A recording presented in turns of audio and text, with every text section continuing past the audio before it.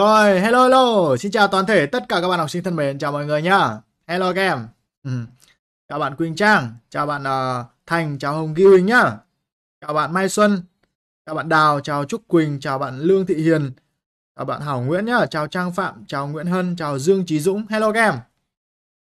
Rồi vào đây các em ơi, vào đây, vào đây, vào đây, vào đây, vào đây đi. Không biết là giờ này chúng ta đã ăn uống gì chưa các bạn nhỉ? Mọi người biết là chúng ta sẽ gần thi rồi đúng không? Vì vậy là trong giai đoạn hiện nay đó thì mọi người phải làm quen với cái nhịp đồng hồ sinh học của bản thân mình. Đó là chúng ta phải ngủ thật sớm, dậy thật sớm đúng không ạ? Và học thật sớm vào cho thầy nhé. Đó cũng là lý do vì sao thì thầy sẽ like vào 8 giờ tối chứ không like quá muộn. Bởi vì nếu như like quá muộn nó ảnh hưởng đến kết quả học tập của bạn rất là nhiều. Đúng không? Đó. Rồi tất cả mọi người vào rồi chúng ta điểm danh một cái các bạn nhá. Chào bạn người nhà quê nhá. hi hi thầy chào các em. Chào bạn Đức Thành. Chào bạn Phú Bà. Chào bạn uh, Đào Đào. Chào bạn uh, Vàng Thị Chủ. Chào Nguyễn Thị Thanh. Hello các em. Sai ngu nhiều quá thầy ạ. À. ok em. Hôm nay thì uh, các chị trợ lý đã chấm điểm và xếp hạng cho các bạn rồi đúng không? Có 6.494 bạn tham gia thi thử. Tuy nhiên một con số cực kỳ cực kỳ báo động là chỉ có 56 bạn được điểm điểm 10 tuyệt đối tức là đang có điểm chiếm đến gần 99% các bạn đang sai ngu. Đúng không? Đó, bởi vì các bạn biết rằng là uh, đây là một kỳ thi rất rất quan trọng đối với tương lai của các em, đối với cuộc đời của các em sau này. Đúng không? À, nếu như mà chỉ tranh nhau tầm khoảng 0,2 điểm thôi thì rõ ràng đó là tranh nhau cả một cuộc đời.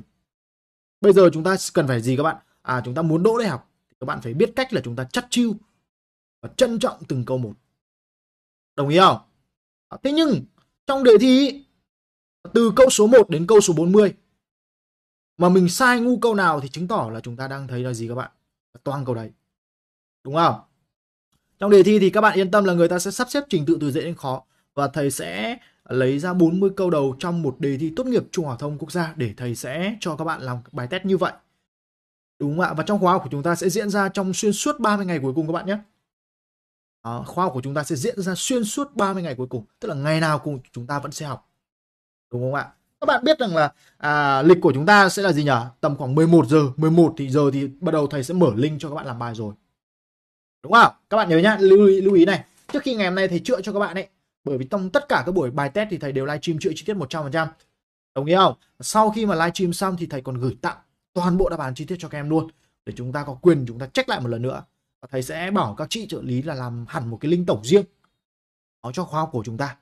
Đúng không? Đó và những bạn nào tham gia khóa học thì các bạn có link tổng nhá. Trong link đấy thì sẽ có thứ nhất là có file đề này. Bạn nào mà bị lỡ cái buổi nào mà ấy chúng ta không làm được thì các bạn có thể lấy cái file đề ra chúng ta tự giác làm lại. Đúng không? Cái thứ hai là chúng ta có file đáp án chi tiết và thầy sẽ uh, tổng hợp lại toàn bộ những cái video chữa chi tiết của các buổi. Và chúng ta sẽ học xuyên suốt 30 ngày cuối cùng các bạn nhé mục tiêu của thầy trò chúng ta đó là chống sai ngu và ăn chắc được 8 cộng toán tức là đảm bảo được 40 câu đầu. Mình không sai ngu bất kể một câu nào ấy đó là mục tiêu cuối cùng của chúng ta. Nghe thì có vẻ dễ thật đấy các bạn, nhưng nó là dễ sai. Đúng không ạ? Và phòng thi nó còn rất nhiều yếu tố khác, nên bây giờ chúng ta không thể nói trước điều gì cả. Mình chỉ cần cố gắng học. Không được chủ quan, bởi vì bệnh chủ quan là cái bệnh mà chúng ta sẽ chết đầu tiên. Đó, đúng không ạ? Đúng chưa? Thì các bạn nhớ này, nghe này, nghe thầy ờ, thông báo lại một lần nữa để cho chúng ta hiểu này. Thứ nhất là những bạn nào tham gia trong nhóm của chúng ta đúng không ạ? Đây là trong khóa học. Khóa học này trị giá là 999k. Đúng không? Tức là sấp xỉ một, một triệu. Nhưng mà thầy đã tặng free cho các bạn rồi. Tuy nhiên là không phải là vì free mà các bạn xem thường nó. Và chúng ta đều phải học tập một cách nghiêm túc và bài bản. Bạn nào không làm bài quá 3 buổi, thầy kích các bạn ra ngoài luôn để nhường chỗ cho các bạn khác. Nên thầy nói trước, có bữa nào bảo là Thầy ơi em bị out khỏi nhóm rồi nhá Em hôm trước bị ờ, bận cái này bận cái kia không làm được bài hôm sau thì không thấy gọi là mất hình luôn các bạn. Nên chúng ta phải lưu ý cái điều đấy. Đồng ý không? À, tất cả các bạn vào trong nhóm thì mình phải học một cách đầy đủ nghiêm túc nộp bài cho thầy để thầy chấm điểm để xếp hạng cho các em.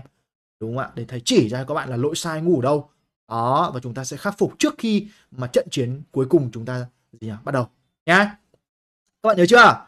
Và lưu ý này nhắc phải nhớ này lưu ý lưu ý lưu ý. Nhắc đi nhắc lại một nghìn lần nhưng mà vẫn phải lưu ý. Đó là gì? À, đúng 11 giờ nhá 11 giờ buổi trưa ấy đúng không ạ hoặc là 11 giờ 30 đi để cho các bạn có thời gian chúng ta đi học về buổi trưa nhá buổi trưa Đúng không? Thì các chị trợ lý sẽ đăng đề lên cho các bạn. Đăng phiếu điền đáp án cho các bạn. Đúng không? Đó là chúng ta sẽ có đề này. Đúng không ạ? Cộng phiếu điền đáp án này. Đấy. Ok chưa? Nhớ nhá. Các bạn làm rồi, sau đó nộp cho thầy thôi. Tầm khoảng uh, 17 giờ hàng ngày đúng không ạ? 17 giờ hàng ngày. Thì các chị sẽ chấm điểm cho các bạn. Đúng không? Sẽ chấm điểm và xếp hạng cho các bạn luôn. Thì chúng ta nằm ở số hạng bao nhiêu? Làm bài có sai ngu hay không?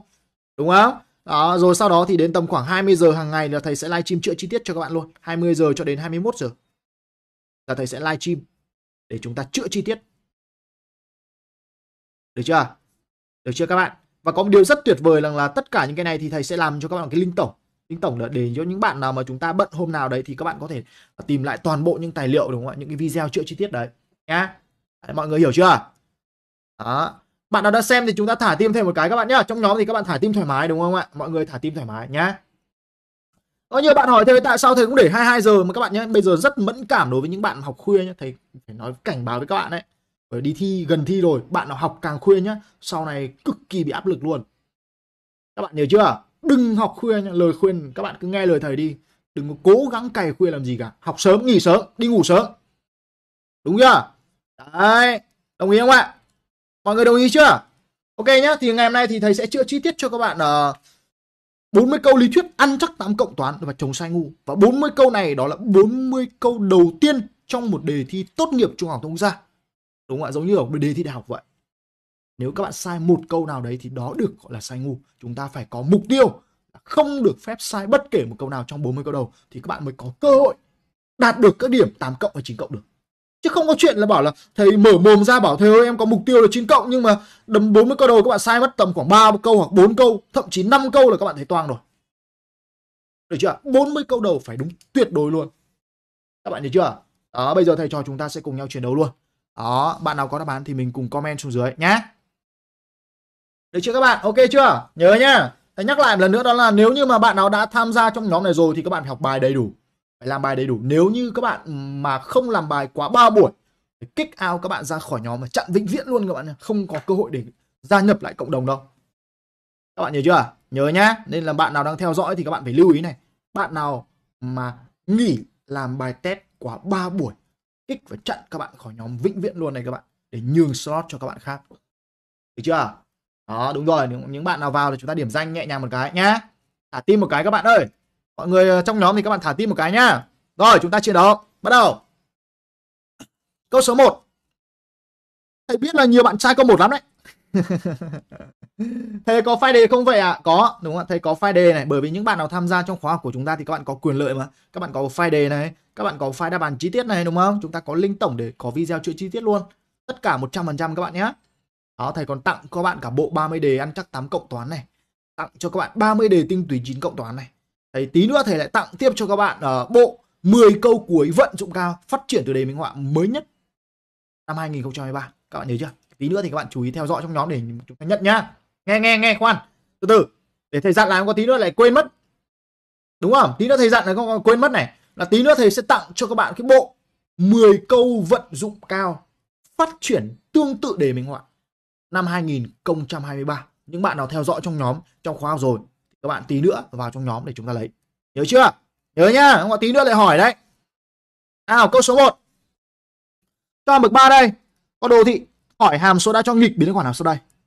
Cho đồ thị gốc, đồ thị hàm số y x vậy muốn đọc nghịch biến thì chúng ta đọc xu thế của đồ thị. Và cụ thể là nó phải có xu thế đi xuống.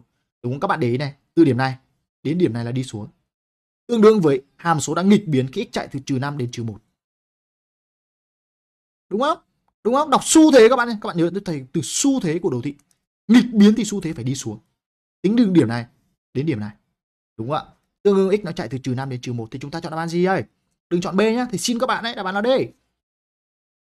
được chưa đó thầy yêu cầu tất cả 100% chúng ta cùng comment đáp án số dưới thầy nhá đó câu số 2 tập nghiệm của bất phương trình này là gì tập nghiệm của bất phương trình đúng không đó thì làm nào đây 2 mũi cộng 1 nhân 3 mũi thì bén bằng 72. Thì các bạn để ý này, chúng ta để ý này. 2 mũi cộng 1 thì các bạn tách thành 2 nhân 2 mũi. Đúng không ạ? Nhân 3 mũi để nguyên. Nó bén bằng 72. Thì các bạn tương đương với 2 mũi nhân 3 mũi. nó sẽ bén bằng mấy các bạn? 72 chia 2 này thì bằng 30 36 nhưng mà các bạn biết rằng 2 nhân 3 là bằng mấy các bạn nhỉ? 2 mũ nhân 3 mũ thì bằng 6 mũi. đúng không ạ? Bén bằng 36 thì x của chúng ta tương đương với x nó sẽ bén bằng bằng 2 à, bén bằng 2 thì nó phải C chứ. Đúng không? Đấy, cực kỳ nhẹ nhàng nhá. Tiếp tục câu số 3 trong OZ đây cho chúng ta một đường thẳng D. Hỏi đường thẳng này đi qua điểm nào giờ đây? Rõ ràng là đây là phương trình uh, chính tắc. Đúng không? Đúng không? Cái điểm nó đi qua thì có rất nhiều nhé bây giờ chúng ta muốn biết điểm nó đi qua thì các bạn thay vào. Thay vào thử. Đúng không? Thì đó là bạn gì? Đáp án D. Mình thay năm vào này. năm trừ ba bằng hai này hai chia hai một này. Hai vào đây. hai cộng một ba ba chia ba cũng bằng một đúng không? Trừ năm vào cũng thế. Tất cả thay vào thì nó đều ra cùng một giá trị. Thì được gọi là điểm nó đi qua. Đáp án D. Đúng rồi. Tiếp tục câu số 4 cho các bạn mặt cầu đây, hỏi có bán kính bao nhiêu? Đúng không? Thì mặt cầu thì đương nhiên là các bạn nhớ là nó có tận hai dạng nhá. Nhưng thằng này là cho dưới dạng chính tắc, tức là chúng ta nhớ ra x trừ a tất cả bình. Cộng y trừ b tất cả bình, đúng không? Cộng z trừ c tất cả bình thì sẽ phải bằng r bình. Các bạn nghe nhá. Các bạn không nghe nhầm đâu. R bình. Đúng không? tức là r bình bằng 49 r của chúng ta phải bằng 7 đúng không ạ? Đúng không đấy có nhiều bạn chọn a là sai nhá bởi vì thầy đã nhắc rất rõ là cái đít này là r bình đó nhớ chưa câu 5 cho đa giác đều có 10 cạnh, hỏi số tam giác tạo bởi các đỉnh của đa giác đã cho là. Thế bây giờ có 10 cạnh, 10 cạnh đúng không? 10 cạnh là gì? Là 10 đỉnh. Đúng không? Thế để tạo ra một tam giác thì các bạn chỉ cần chọn 3 đỉnh trong 10 đỉnh đấy thôi. Bản chất nó chính là C3 của 10. Các bạn có 120 luôn, đáp án là D Hiểu không? 10 cạnh tức là 10 đỉnh. Bây giờ chúng ta chọn ra một tam giác có nghĩa là các bạn chọn 3 đỉnh trong 10 đỉnh đấy. Chọn bao nhiêu trong bao nhiêu chúng ta dùng C đó, được chưa? Được chưa? Tiếp tục câu 6. Câu 6 nào, đáp án gì đây? Câu 6, câu 6 mọi người ơi, tập trung vào nhá. Tập trung cao độ, mình như thực chiến thần tốc vậy. Đúng không? Cho số phương Z bằng 3 cộng 4y hỏi liên hợp của nó bằng bao nhiêu? Thì các bạn để ý rằng là liên hợp là liên hợp của toàn bộ thằng này này. Không phải liên hợp của Z đâu nhá. Các bạn để ý này. Thằng này rất ngang, nó chính là bằng 3 trừ 4y. Đúng không? Nhân 1 trừ y. Khi các bạn nhân bung ra chúng ta nhầm luôn này. 3 nhân 1 bằng 3. Thằng này là bằng cộng 4y bình là bằng trừ 4. Đúng ạ. Trừ 4y, trừ 3y là trừ 7y. Tức là tính xương xương nó chính là bằng trừ 1, trừ 7y. Nhưng nếu như bạn nào chọn D là sai luôn, sai bét để nhè bởi các bạn đang đọc. quá Wow! ẩu D hỏi một đường thì ông lại trả lời một nẻo đúng không? D hỏi gì? Liên hợp của nó là liên hợp của thằng này này. Đấy, thằng này số phương gốc vậy liên hợp của nó chính là bằng gì các bạn? Trừ một cộng bảy Đúng không ạ? Trừ một cộng bảy đó là bằng B. Mình phải đổi dấu đổi dấu cái phần ảo của nó. Đúng không? Hỏi cái gì trả lời cái đấy. Còn nếu như mà chúng ta đọc đề ẩu là chắc chắn sai. Nó cực kỳ dễ sai ngu các bạn ạ. Bởi vì bây giờ chúng ta gọi là học toán ấy sai một ly thôi nó đi một dặm. Các bạn nghe cái câu thần chú đây nhé để chúng ta khắc cốt ghi tâm trong bản thân mình ấy đúng không? Sai một ly là cứ đi một dạng không nói nhiều. Đấy, được chưa? Tiếp tục câu số 7 câu 7 tập xác định của hàm số này. Hàm số này hàm số lũy thừa. Đúng không ạ? Thì tập xác định của nó có ba loại. Và muốn biết nó thuộc loại nào thì các bạn nhìn vào đâu. Nhìn vào mũ của nó. À, thằng này loại số 3 bởi vì số mũ của chúng ta là số không không đẹp. Đúng không ạ? Thì điều kiện xác định là chúng ta cho cơ số phải dương tức là x trừ 2 của thầy phải dương tương đương với x là lớn 2 đáp án là C được chưa? Câu 8 cho hình nón có bán kính đáy R. Độ dài đường sinh L. Diện tích xung quanh của nó đã cho được tính bởi công thức nào sau đây? Diện tích xung quanh của nó S bằng pi RL thôi. Đúng không? Đáp án là A. Đấy. được chưa? Được chưa? Đồng ý không? Ôi trời ơi, chết rồi. Có nhiều bạn comment 7A còn cãi nhau nữa mới mệt chứ lại. À đúng rồi đúng rồi đúng rồi, xin lỗi các bạn. Trừ 15 phần 3 trừ 15 phần 3 là bằng mấy nhỉ? Trừ 15 phần 3 là bằng trừ 5 ôi giời ơi, đây loại 2 đúng rồi. Đấy, các bạn thấy không ạ? Thầy còn sai ngu được huống gì các bạn? Đúng không? Đấy, chính xác nha. Trừ 15 phần 3 nó chính là bằng trừ 5 trừ 5 này nó chính là số loại 2 đúng không ạ? Loại 2 là chính là gì các bạn? Là số mũ của chúng ta là số nguyên âm thì cơ số phải khác không? Cơ số khác không tức là chúng ta cho x trừ 2 khác không đúng x trừ hai khác không thì x làm sao các bạn x khác hai đấy ok ok đấy thực ra thầy thử các bạn thôi nhưng mà rất ít bạn là nhìn được điều đấy Đúng không? Rất ít bạn nhìn được điều đấy. Bởi vì rất nhiều bạn thầy thấy cũng comment C giống thầy nên thầy cũng thử các bạn luôn nha. Đó, nhưng mà rất tiếc rằng là nhiều bạn cũng sẽ sai ngu câu này, đó là câu số 7. Các bạn nhìn thấy không ạ? câu này đúng là sinh ra để lừa tình các bạn đấy, các bạn chú ý nhé. Tiếp tục câu số 9. Cho Z đây cho chúng ta một phương trình mặt phẳng P, hỏi có một vectơ pháp tuyến là gì? Một vectơ pháp tuyến đúng không? Thì các bạn để ý rằng đây là phương trình gì các bạn? Đây là phương trình mặt chắn. Đúng không? Thế tìm vectơ pháp tuyến của nó không phải là bằng 22 trừ 1 đâu nha. Nhiều bạn cứ tưởng 22 trừ 1 nó giống kiểu phương trình đường thẳng ấy đúng không? Nhưng mà các bạn đừng ảo ma nha. Thầy sẽ dạy cho bạn cách này. Vectơ pháp tuyến luôn luôn là các hệ số đứng trước A, đứng, à, đứng trước X, đứng trước Y và đứng trước Z. Thì nó chính là bằng 1 phần 2. 1 phần 2 và trừ 1. Đúng không ạ? Đúng không? Đấy, các bạn hiểu vấn đề không? Mình cứ tách ra thôi. Một x trên 2 có đúng là bằng 1 phần 2 nhân x không? Y trên 2 thì cũng là 1 phần 2 nhân y. Z trên trừ 1 thì là trừ 1 nhân Z. Đúng không? Thì các hệ số nó đính chính là vector pháp tuyến. Sau đó các bạn có quyền nhân cho hoặc chia cho cùng một số để tạo ra một vector phát tuyến mới. Thì bây giờ chúng ta nhân tất cả cho mấy các bạn cho hai đi. Đúng không? Thì các bạn có là bằng mấy? 1, 1 và trừ 2. Thì đáp án là B còn gì nữa? Hiểu không? Nó cách ngắn gọn nhất. Hoặc là các bạn có thể quy đồng lên cũng được tùy các bạn. Nhưng bản chất là như vậy. Tiếp tục câu số 10. Được chưa? Câu 10 nào. Cho Z đây cho vector U và vector V. Tìm tọa độ điểm M biết OM của chúng ta 3 trừ 3 lần vector U cộng 2 lần vector V. Đúng không? Thì các bạn chơi luôn nha. Ví dụ như sau đây, trừ 3 lần vector U tức là chúng ta nhân trừ 3 vào đây. Thì có trừ 6 này. Đó, trừ 3 này, 9. Đúng không? 2 lần vector V, 2 lần vector V các bạn nhân 2 vào đây thì thầy có 8, 10 trừ 4.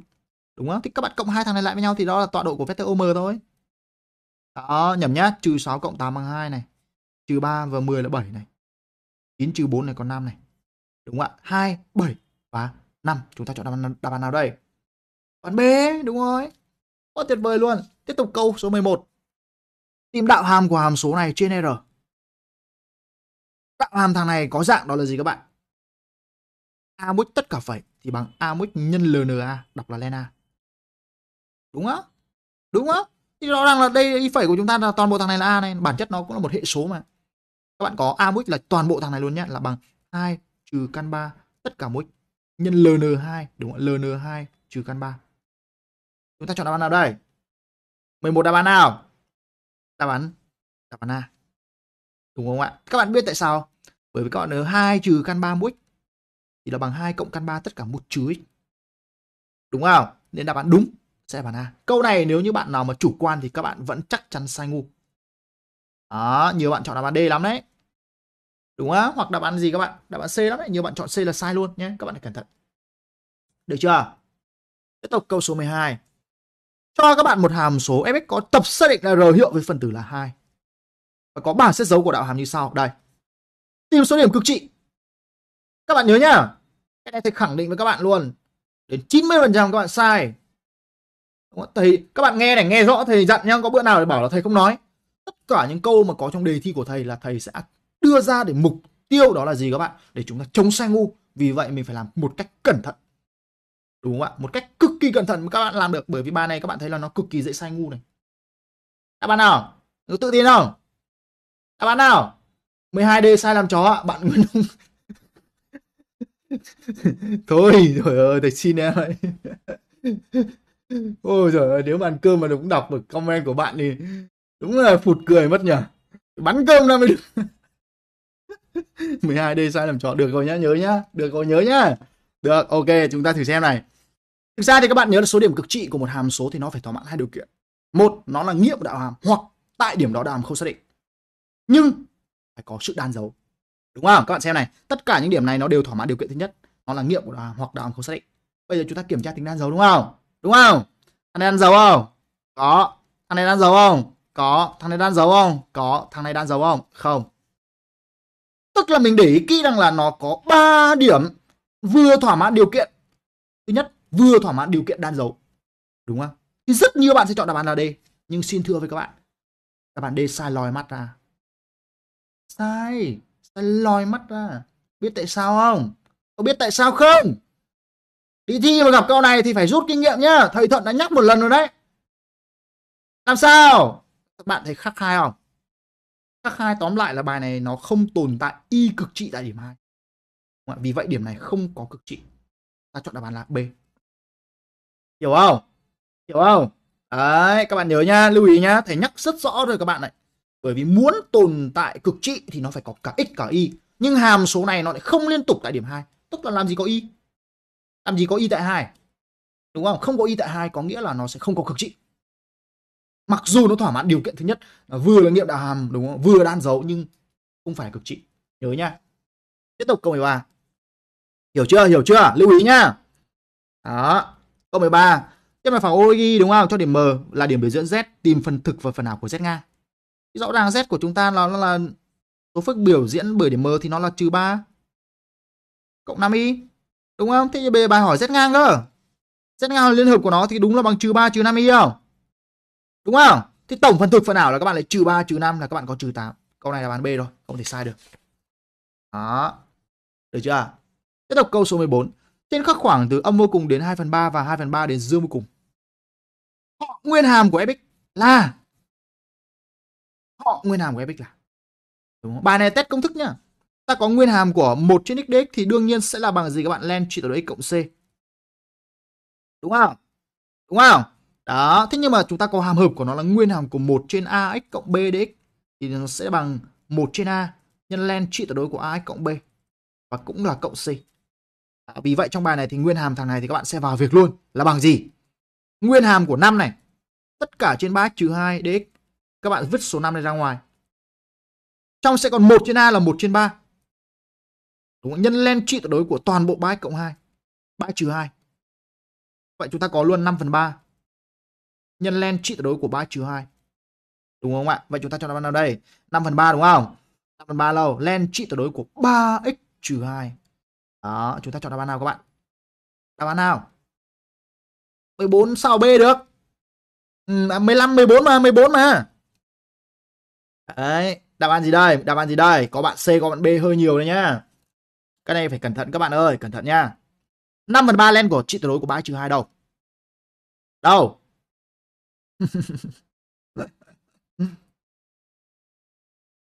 các bạn nào? Các bạn sẽ nhớ này. Thằng này chắc chắn sai. Đúng không?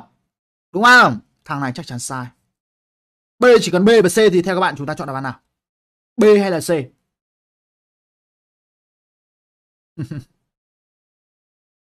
Ui giời giời giời ơi, chết thôi rồi. Nhiều bạn sao mà dạo này sao các bạn? Câu 14 đáp án gì? Chốt lại nào. Các bạn sao còn B các bạn C nhỉ? Ảo thật đấy các bạn. Đáp án gì?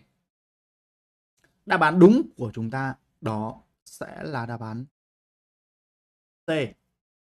Đúng. Các bạn biết tại sao đáp án C không? Các bạn biết tại sao đáp án C không? Thầy ơi giảng chậm cho em tí ạ.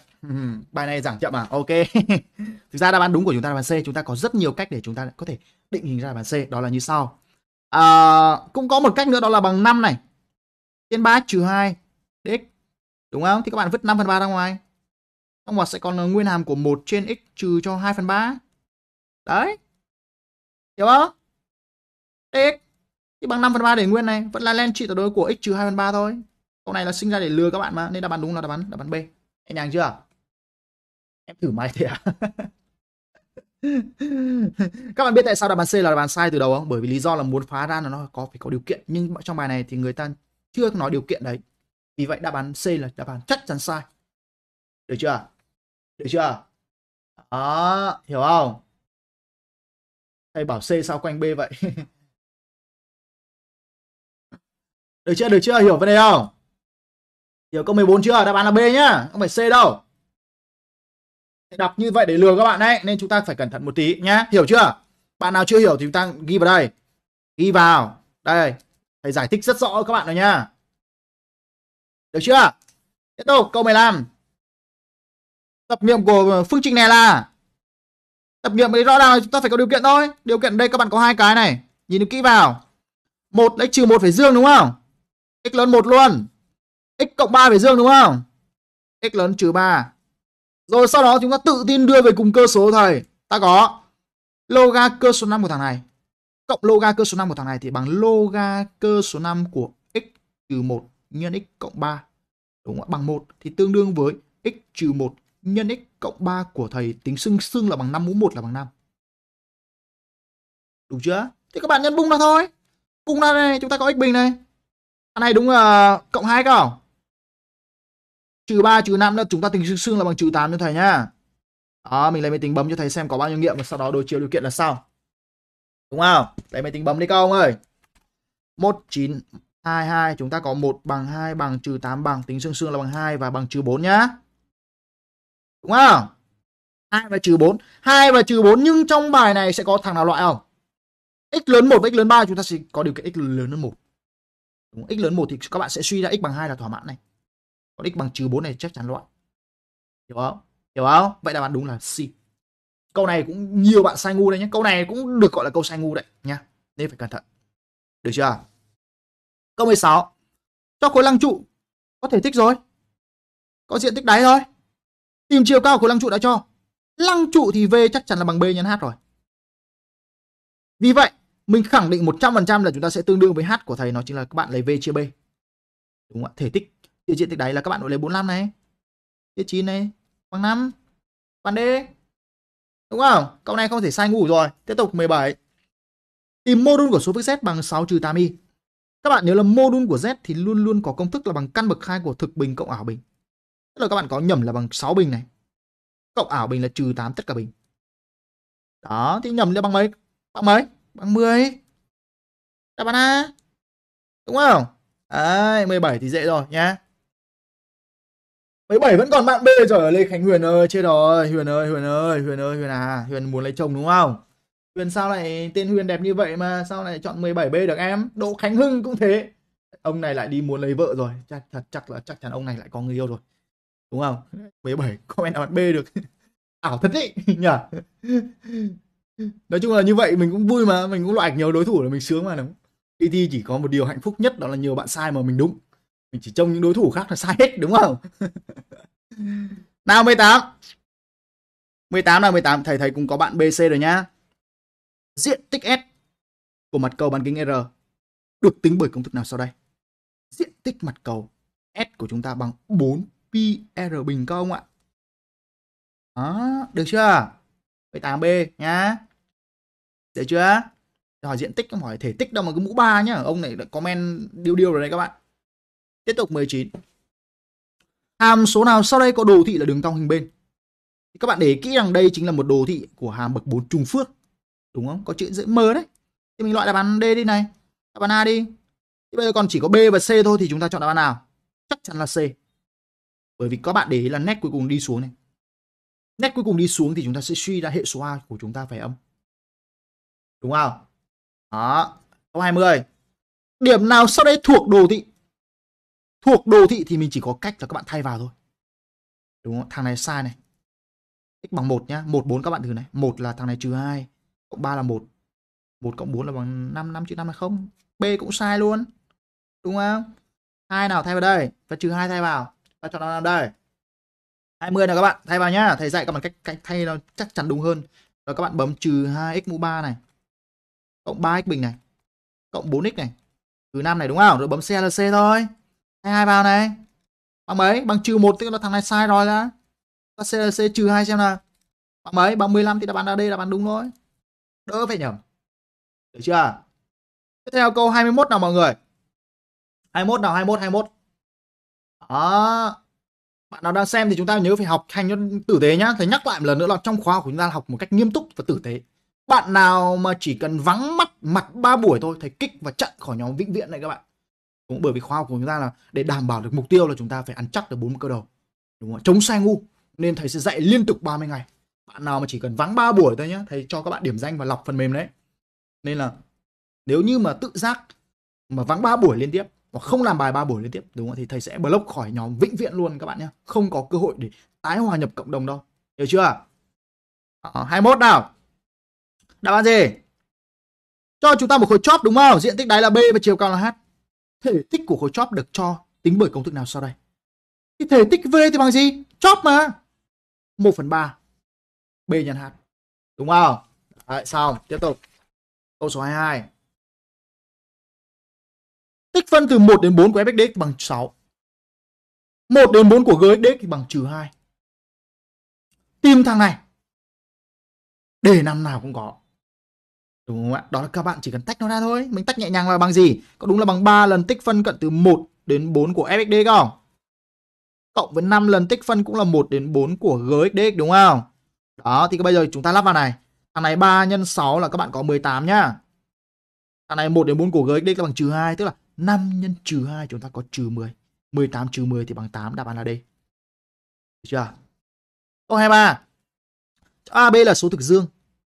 Lốc cơ số 5 của A Bình trừ 6 loga cơ số 3 của thằng này bằng cái gì? Đấy, thì bây giờ chúng ta rút gọn thôi. Cách rút gọn đơn giản nhất ở nhà này. Chúng ta nhớ công thức gốc nhá. Loga cơ số A mũ M của B mũ N thì chúng ta có quyền đưa cái mũ trên ra ngoài, đưa mũ dưới ra ngoài. Sao cho mũ trên là nằm trên tử, mũ dưới nằm dưới mẫu. Trong vẫn còn loga cơ số A của B. Đấy, đây là bản chất là như vậy, hiểu không? Vậy suy ra cái phương trình này nó sẽ trở thành như sao? Đây là mũ 2 này vứt ra ngoài thì bằng 2 loga cơ số 5 của A giữ nguyên. Cộng các bạn để ý nhá. Căn bậc 3 của B bình là bằng B mũ 2 phần 3. Vứt 2 phần 3 ra ngoài tức là bạn có 6 nhân 2 phần 3. Trong vẫn còn loga cơ số 3 của B để nguyên. Đúng không ạ? Vậy thằng này để nguyên này. 2 loga cơ số 5 của A này. 6 nhân 2 phần 3 mấy? 6 chia 3 bằng 2. 2 nhân 2 bằng 4 tức là bằng trừ 4 loga cơ số 3 của B. Đúng không ạ? Đáp án nào đây? Đáp án nào đây? 2 đâu? 2 loga cơ số 5 của A trừ 4 loga cơ số 3 của B. Đáp án là A rồi. Được chưa? Câu 24. Tích phân từ 0 đến 6 của fxdx thì bằng 18. Tìm thằng này. đột biến thôi. Đúng không? Mình chỉ cần đặt nhẹ nhàng các bạn nhé. Không cần phải công thức đâu. 3x bằng t. Thì các bạn tương đương luôn vào ngay cho thầy hai vấn đề. Một là dx bằng dt trên 3. Đúng chưa? Thứ hai là các bạn đổi cận nhẹ nhàng tình cảm nhé. Tình cảm như cái rút ấy. Đúng không ạ? x đây. T đây. x chạy từ 0 đến 2. Thì t chạy từ đâu? Hay không đây? Thì 0 đến 6 đúng không? Vậy rõ ràng là cái con tích phân này nó sẽ trở thành một tích phân mới và nó cũng đi theo cận mới là cận từ 0 đến 6. Của của gì? F3x là FT. Đúng không? DX là bằng DT trên 3 chúng ta đưa 1 phần 3 ra ngoài. Trong ngoài là còn DT. Và chắc chắn nó cũng bằng 1 phần 3 tích phân từ 0 đến 6. FTDT là FXDX. Đúng không? Anh này có chưa? 0 đến 6 của FXDX có rồi đây. Bằng 18. Vậy chúng ta có 18 chia 3 thì bằng 6. Chúng ta chọn đáp án là A. Đấy, được chưa? Câu 25. Cho chúng ta một hàm số phân thức bậc 1 chia bậc 1 đây. Hỏi, tiệm cận ngang là đường thẳng nào? Câu này cũng là câu dễ sai ngu lắm các bạn ạ. Nào 25 đáp án gì các bạn?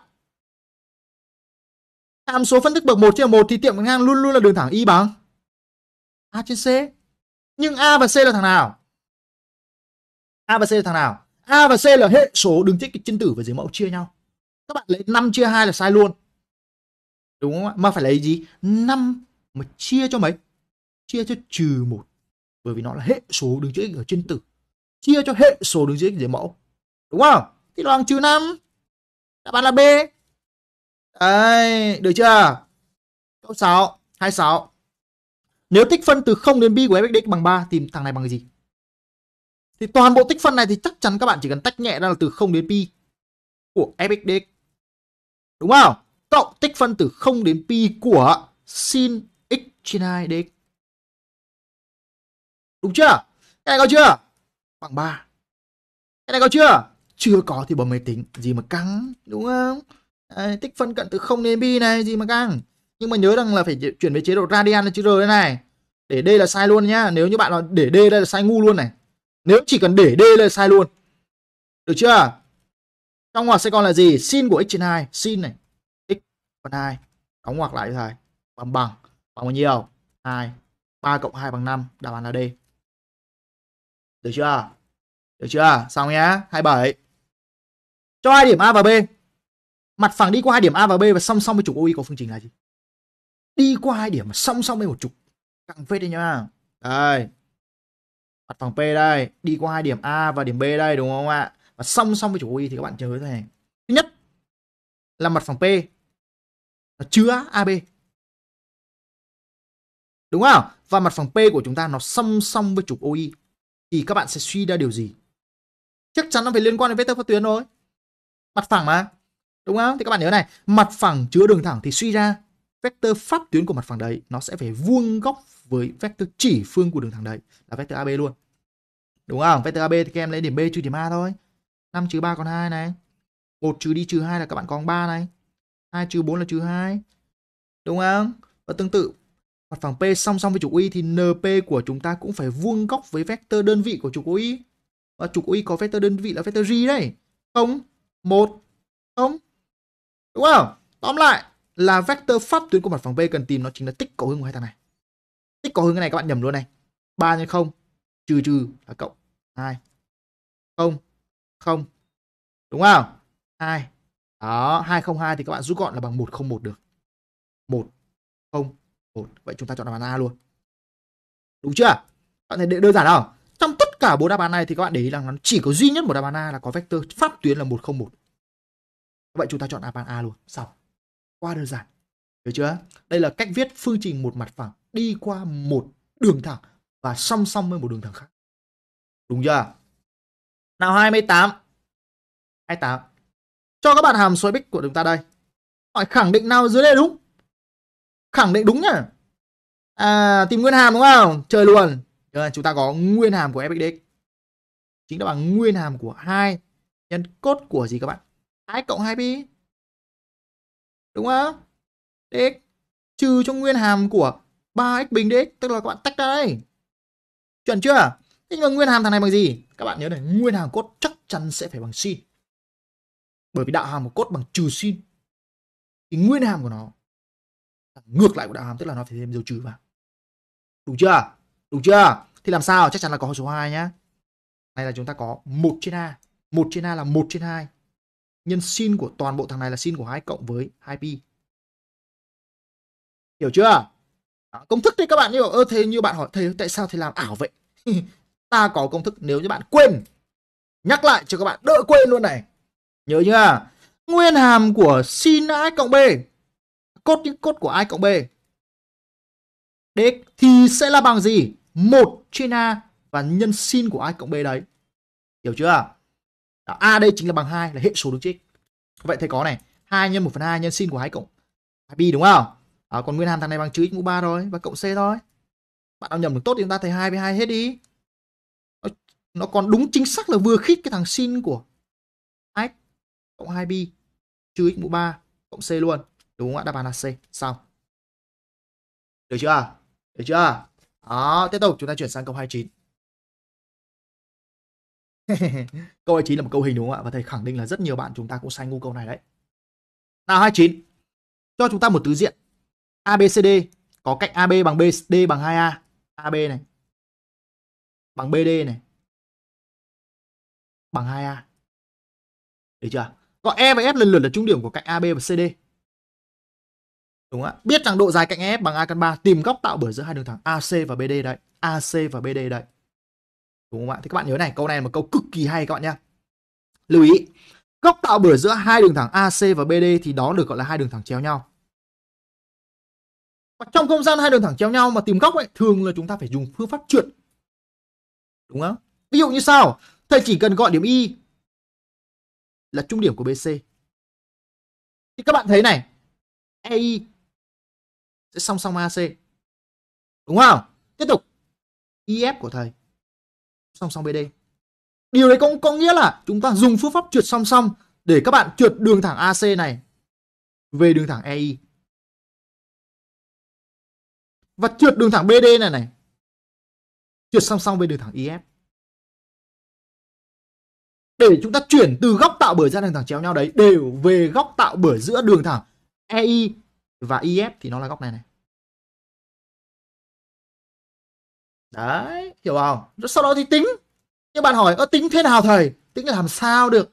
Làm thao đúng không? Rất đơn giản thôi công ạ. À. Nhìn này. AC. thì bài cho bằng 2A. Thì rõ ràng EI là đường trung bình mà. Đúng không? Thì E là trung điểm. Y là trung điểm. Thì có phải E đường, đường trung bình không? Mà đường trung bình thì EI sẽ bằng một nửa cạnh AC. Tức là nó chỉ bằng A thôi. Chứng minh tương tự thì cạnh IF này cũng là đường trung bình. Thì IF sẽ bằng một nửa BD. Tức là nó chỉ bằng A. Mà đề bài lại cho EF bằng A căn 3. đúng không? bắt các bạn tìm cái góc này ngay lập tức chúng ta dùng định lý cosin các bạn sẽ tìm được đúng không ta có cosin thôi gì mà căng cosin của alpha thì có đúng là bằng gì các bạn nhớ công thức không nhớ không ei bình đúng không ạ cộng if bình trừ ef đúng không ạ? Trừ ef bình. Tất cả trên hai lần AI nhân với if đúng chưa? Nhớ định lý cosin trong tam giác không? Nhớ không các bạn ơi? Sau đó lắp vào thôi. A bình đúng không? A bình cộng a bình luôn. Trừ cho ef đúng không? Ef của chúng ta bằng a căn 3 a căn 3 bình luôn thì có 3 bình. Tất cả trên hai lần, đúng không ạ? Nhân a nhân a là 2 a bình tức là mình tính xương xương là chúng ta sẽ có cốt alpha của thầy bằng bao nhiêu nào? A bình cộng a bình là 2 2 trừ cho 3 là còn trừ 1 đúng không? Tóm lại trừ a bình. Trừ a bình trên 2 a bình tức là chúng ta có trừ 1 phần 2 và cốt alpha bằng trừ 1 phần 2 thì các bạn sẽ suy ra alpha của chúng ta tính xương xương. Là bằng bao nhiêu? Bằng bao nhiêu? 120 độ. Hiểu chưa? Hiểu chưa? Các bạn. Đáp án nào? Đáp án nào? Câu này sinh ra để lừa tình các bạn nên thầy phải cảnh báo với các bạn bài này nhá làm xong rồi đúng không 120 độ đúng không? Bởi vì cốt alpha bằng trừ 1 phần 2 các bạn bấm shift cốt ra chắc chắn ra bằng 120 độ. Công ty thấy bấm cho các bạn trầm trồ luôn này. Đây, nhiều bạn bảo thấy điêu được ship code của này. Đúng không? Trừ 1 phần 2 này. Chắc chắn là bằng 2 pi trên 3. Đây, 2 pi trên 3 là 120 độ. Đáp án nào? Đáp án nào? Đừng chọn đáp án D nhưng thầy xin các bạn này đáp án D là sai lòi ra, đáp án đúng phải đáp án A. Tại sao? Bởi vì khi mà chúng ta tìm ra góc tạo bởi giữa hai đường thẳng, hoặc hai mặt phẳng, hoặc một đường và một mặt mà tìm ra góc tu thì chúng ta phải lấy bù của nó, tức là lấy 180 độ trừ góc này, thì nó ra phần bù của nó. Đúng không? Đúng không? Bởi vì nó là phải góc nhọn cơ mà. Làm gì có chuyện góc tạo bởi giữa hai đường thẳng, góc tu không bao giờ có. Câu này sinh ra để lừa các bạn. Nên phải cẩn thận nhé bởi vì trong đề này cực kỳ có nhiều câu lừa. Nếu như các bạn không học chắc kiến thức, hoặc các bạn không đủ sự tỉnh táo trong đề thi là sai ngu luôn được chưa nói chung đi thi mình cần phải sự minh mẫn các bạn nhá đó, hiểu chưa? Tiếp tục câu 30. Trong ơi xét đây. Cho tham gia ABC có A, có B, có C rồi đúng không? Hỏi đường cao đi qua A có phương trình nào? Đường cao đi qua A tức là chúng ta có một tam giác ABC đây. A có, B có, C có, đúng không? Điểm A tọa độ là 2, trừ 1, trừ 2. Điểm B của chúng ta là 1, 2, trừ 3. Điểm C thì là bằng 2, 3, 0. Gì mà căng? Đó thì bây giờ bài hỏi đường cao đi qua thì đường cao nó sẽ phải là gì các bạn? Vuông góc thôi. Đấy, đường thẳng thì các bạn loại đáp án C đáp án D đây này. Đúng không? Đường thẳng các bạn làm gì có chuyện là đáp án C đáp án D? Hai đáp án này là mặt phẳng rồi. Chúng ta chọn đáp án nào đây? Đường thẳng. Đúng không ạ? Thì chúng ta chọn đáp án nào? Bài này loại trừ là nhanh nhất. Được chưa? Có bạn chọn A có bạn chọn B nhá. Thì các bạn nhớ này nghe này. Đường thẳng AH thì các bạn thấy đáp án A, đáp án B thì chúng ta sẽ có được vector chỉ phương của nó. Lấy ví dụ giả sử đáp án A thì U của nó hiện tại nó là bằng 1 1 3. Đúng không? Đáp án B thì U của nó hiện tại bằng bằng 5 trừ 17 và 4. Chúng ta có thể hoàn toàn kiểm tra luôn. Làm sao kiểm tra bằng cách nào? Các bạn có đường thẳng AH này có phải vuông góc với BC không?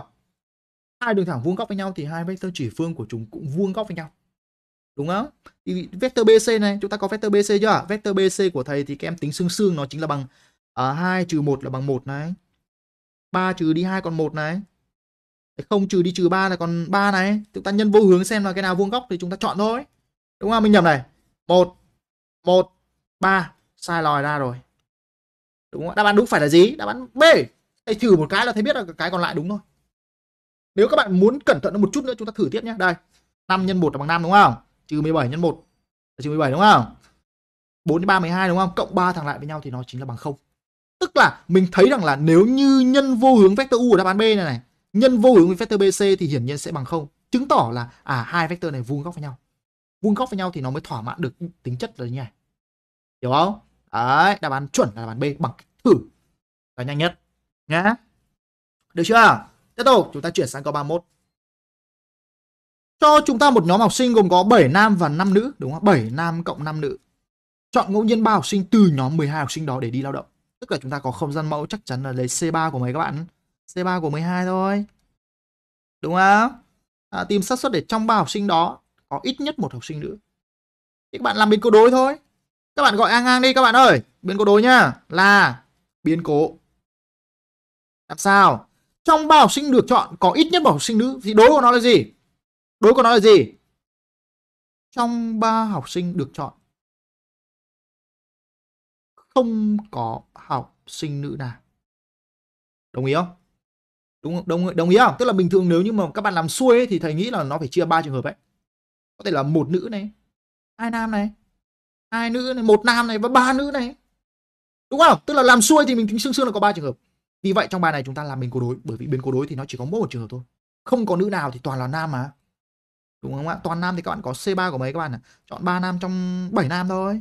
Thì các bạn sẽ suy ra xác suất để biến cố. Đối này thì nó chính là bằng c3 của 7 này, trên c3 của 12 này.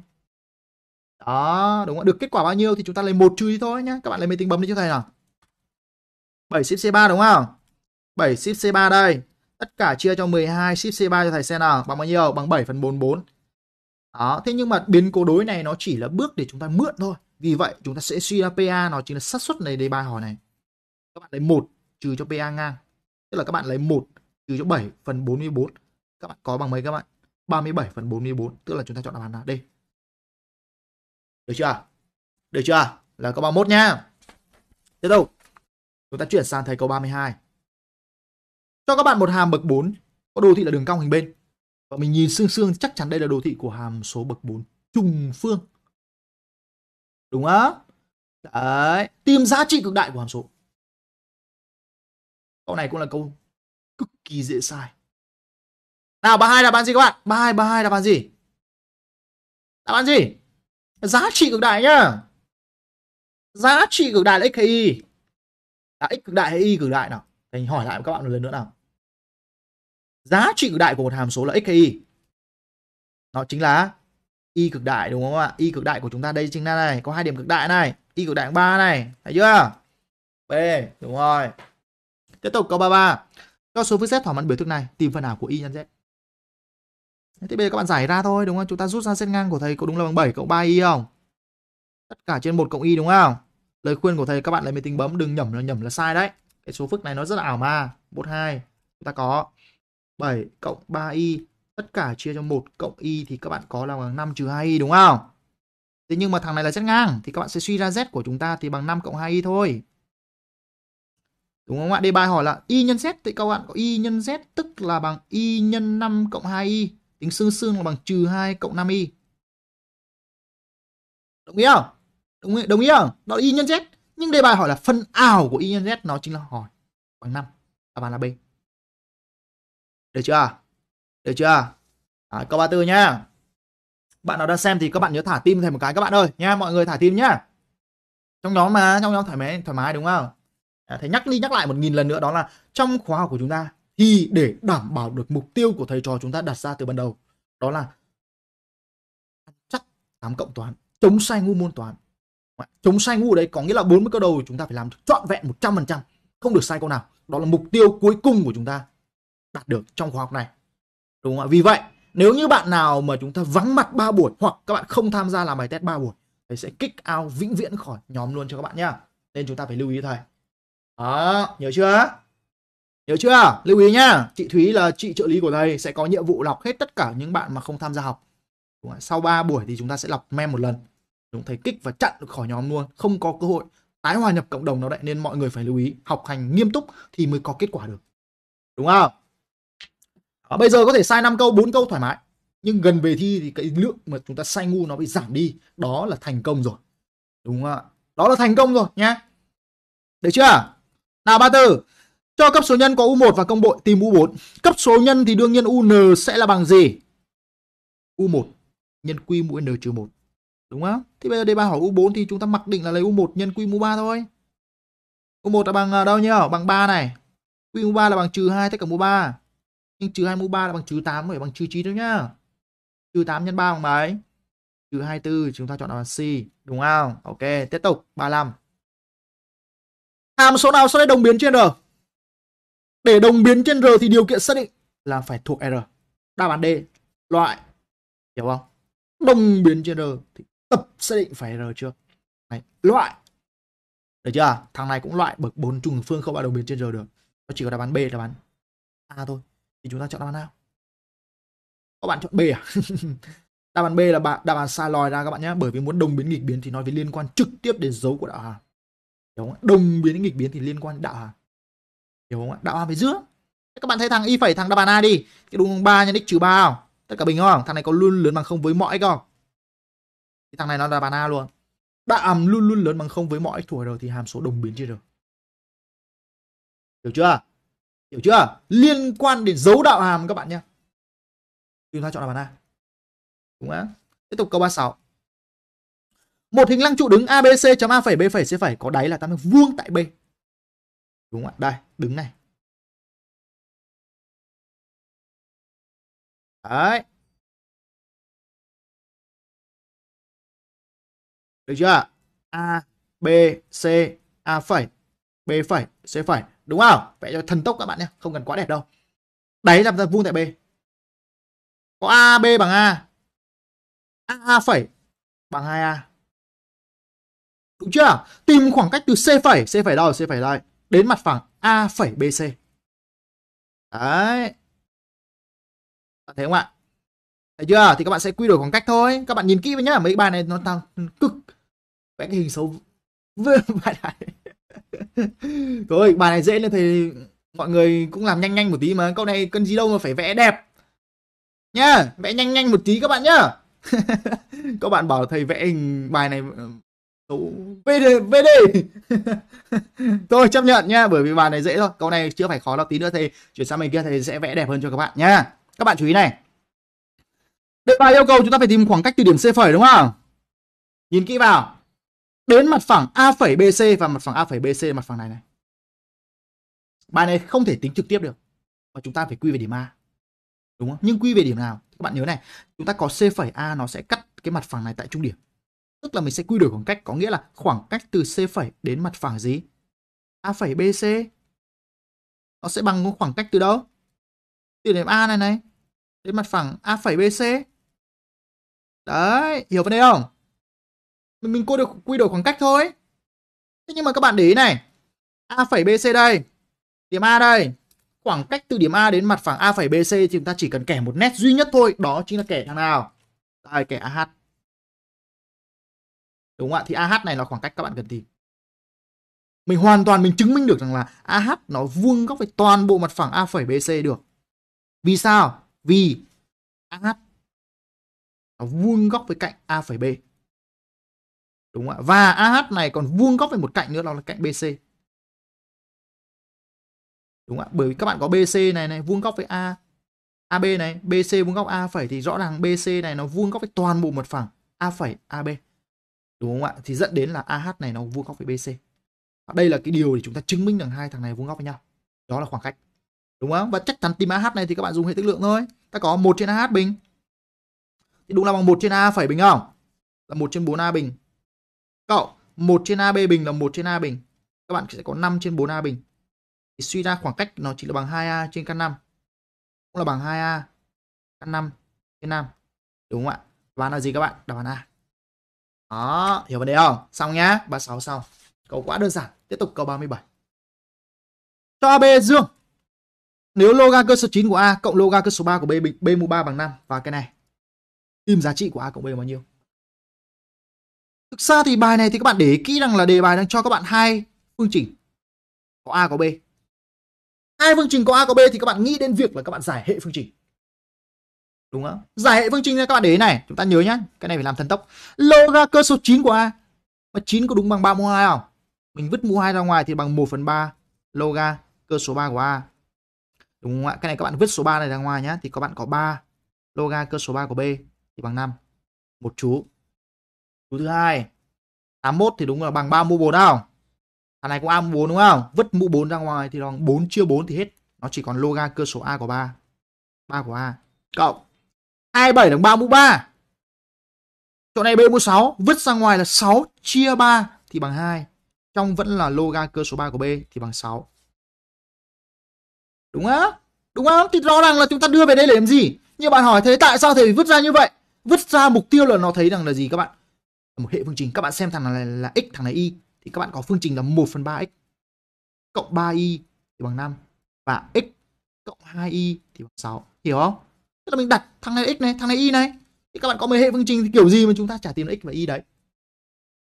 Đúng chưa? À 1 phần 2, 1 phần 2 sẽ có 1 phần 2. Đó. Đúng không? Rồi mình lên máy tính bấm thôi. Chúng ta có 1912 Các bạn có 1 chia 2 bằng này, 3 bằng, 5 bằng này, 1 bằng, 2 bằng, 6 bằng này. À, số rất đẹp x bằng 4 và y bằng 1. x bằng 4 và y bằng 1. Đúng không? x bằng 4 là cái gì? x bằng 4 ở đây nó chính là loga cơ số 3 của a bằng 4 này. Thì các bạn nhầm là a của chúng ta bằng 3 mũ 4, 3 mũ 4 là bằng 81 luôn. Đúng không? Tương tự y bằng 1. Y là cái thằng nào? Là loga cơ số 3 của b. Đúng không ạ? Bằng bằng 1 thì b của chúng ta bằng 3. Hiểu không? Đó, đề bài hỏi a cộng b lấy 81 cộng 3 thì bằng 84 thôi, gì mà căng. Đáp án là b. Sao? Cách ngắn gọn nhất đi thi thì chúng ta cần sự đơn giản, tinh tế và phải nhanh. Chậm là chết thế thôi. Đúng không ạ? Tư duy nhanh vào một chút nhá. Tiếp tục câu 38 Kết khoảng thứ hai đến dương vô cùng thì hàm số này có giá trị nhỏ nhất bằng bao nhiêu? Hai đến dương vô cùng nhá. Bình thường tìm giá trị nhỏ nhất của một hàm số thì chúng ta thấy là trên đoạn thì bấm máy tính thoải mái. Nhưng bài này trên khoảng. Hỏi hỏi đầu tiên. Các bạn nghe này. Bài này có bấm được hay không? Bấm được không? Các bạn hỏi là thế ơi em thấy thường thường bấm mắc min là bấm trên đoạn đúng không? Hoặc trên một khoảng bé bé thôi. Bây giờ trên khoảng từ 2 đến dương cùng có bấm được không? Hỏi có bấm được không? Chắc chắn bấm được. Đó, bạn nào mà làm bài này làm bằng tay thì nó thất bại rồi các bạn. Không nên làm bằng tay. Lời khuyên đấy trắc nghiệm nó rất rất cần thời gian. Đúng không? Đó vậy chúng ta bấm như thế nào? Các bạn nghe này đầu tiên chúng ta cứ bấm mốt 8 các bạn nhé bởi vì đường nào thì chúng ta cũng dùng table mà đúng không? Các bạn có 2x trừ 3 này. Nhập hàm số này vào nhé cộng với 10 phân số cho x trừ 2 đó. Thế nhưng mà trên khoảng từ 2 đến dương vô cùng các bạn nghe này nghe nghe. Trên khoảng từ 2 đến dương vô cùng thì có nghĩa là các bạn sẽ bấm tập con của nó. Chúng ta chỉ bấm trên khoảng từ 2 đến đến 6 thôi. Đúng ạ? Bước nhảy các bạn cho 0,1 đây là step. Bước nhảy đúng tại sao lại bấm từ 2 đến 6 bởi vì 2 đến 6 là một cái khoảng con của khoảng này chúng ta đang chọn cái mẫu thử để các bạn bấm hiểu không hiểu không đấy thì bấm bằng này hai bằng 6 bằng đúng không và không một nhiều bạn hỏi thầy tại sao thầy chọn 6 mà không chọn 7, không chọn 8 hay không chọn 4 bởi vì từ 2 đến 6 ấy với bước nhảy 011 thì có nghĩa nó bấm được 40 giá trị. Đúng không? Đó là bước nhảy hoàn hảo nhất là bước nhảy 011. Đúng chưa? Đúng chưa? Đó và sau đó thì chúng ta soi bên cột FX này xem thằng nào bé nhất thì đó là chúng ta min. Nhé. Đây. Các bạn soi đi. Thằng giá trị bé nhất của chúng ta thì có phải là bằng 9 mấy không các bạn ơi? Đấy, các bạn thấy không? soi một cách cực kỳ thần tốc thì nó tính xương xương nó là bằng 9, mấy này. Đấy, các bạn thấy không? 9,4 này, 9,94 này. Các bạn nhìn thấy không? Đấy, đơn giản mà. Hiểu không? Vậy chúng ta chỉ cần soi cho thầy trong bộ đáp án này đáp án nào bằng 9,94 đáp án đúng. Có nhiều bạn chọn đáp án D thầy xử luôn nhé. 4 1 cộng 4 căn 5 này. Đây. 9,94 perfect đáp án luôn, tuyệt đối luôn. Sao? Hiểu không? có nhiều bạn bảo thế em bấm như thế nhưng mà sao nó không ra thầy ạ? Nó lạ lắm. Thì các bạn nhớ này trong trường mà các bạn không ra thì các bạn bấm tắt gửi điều thầy đi thi thì có phải hai thứ các bạn phải làm nghe. Đi thi hai thứ phải luôn luôn làm. Một chuyển về chế độ radian là chữ r. Nếu để d là nhiều lúc sẽ mất một cuộc đời đấy. Nghe chưa? Thứ hai là chúng ta nên tắt GX nó đi, bởi vì trong chương trình GX nó chỉ dành cho chương trình đại học và cao cấp thôi. Đúng không ạ? Toán cao cấp sau này mới dùng đến cái ma trận GX thôi, còn bây giờ chúng ta chỉ cần dùng FX một hàm là được rồi. Như thầy đã dặn với các bạn, chỉ cần dùng FX các bạn tắt GX cho thầy. Đúng không ạ? Muốn bấm tắt GX thì các bạn bấm shift mode này, xuống xuống. Một một sau hiểu không? Shift mode, xuống xuống. Một một sau hiểu chưa thì máy tính của chúng ta thì nếu như bạn nào tính xương xương nó rơi vào tầm 40 đến 50 giá trị hoặc là 45 giá trị, thì đó là lý do vì sao chúng ta sẽ bấm cho khoản này tất cả những cái bài toán mắc min đều bấm được máy tính trong quá trình đi thi. Được chưa? Tiếp tục, chúng ta chuyển sang câu số 39. Cho chúng ta một lăng trụ tam giác ABC chấm A phẩy B phẩy C phẩy. Câu này là câu hay rồi đây. Bắt đầu sớm chấm ra hai nhá. Các bạn nghe. 40 câu đầu này là 40 câu đầu mà có trong đề thi tốt nghiệp Trung học thông quốc gia. Và năm nay nó sẽ phân loại từ câu 38. Đúng không ạ?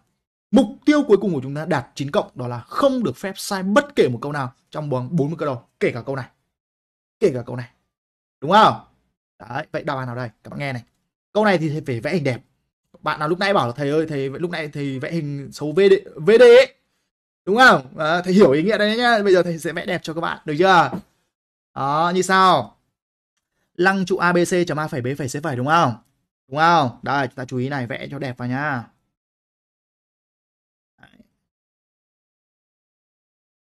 chưa à? A, B, C. Đấy, được chưa? Đấy là tam vuông tại B. Ok, men, B đây. Cái thằng AB thì bằng 3A thằng AC thì bằng 5A thì chắc chắn chúng ta dùng Pythagore. Các bạn tìm nốt cái thằng BC là bằng 4A không cãi được. Đúng không? Làm sao cãi được? Tiếp tục. Hình chiếu vuông góc của A phẩy xuống mặt phẳng đáy là trọng tâm của tam giác ABC trọng tâm là G, đúng không? Thầy gọi G là trọng tâm đây đó thì hình chiếu của A phẩy lên đáy là trọng tâm đúng chưa đây là A phẩy của thầy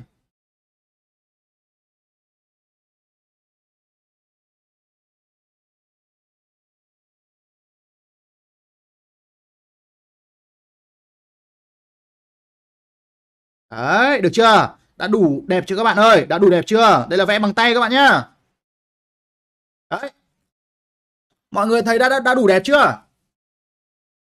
Đấy, lúc này các bạn bảo là rồi thầy sao mà thầy vẽ hình xấu thế? Bây giờ thầy vẽ đẹp cho các bạn rồi đấy. Được chưa? Đủ dùng đấy nhá. Đồng ý không ạ? Đây là một hình lăng trụ gì? Lăng trụ xiên. Còn đây bài hỏi thể tích thì thường là các bạn hiểu này. Thể tích thì chắc chắn chúng ta tìm diện tích đáy và tìm chiều cao. Nhưng đáy thì có rồi mà đáy có gì đâu mà tìm. Tam giác vuông mà.